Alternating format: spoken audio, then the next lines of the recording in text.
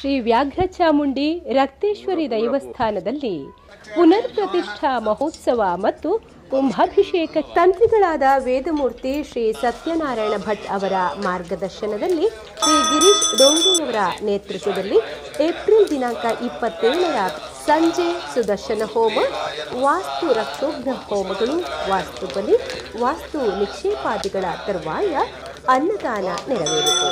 Shrimati Anuradha Ravindra, USA, Shri Vishnu Bhat Dongre ಮತ್ತು ಸಹೋದರರು ಮಹಾದಾನಿಗಳಾಗಿ ಊರ ಪರವೂರ ಭಕ್ತರ ಸಹಕಾರದಿಂದ ವಿಜೃಂಭಣೆಯಿಂದ ಜರುಗಿತು.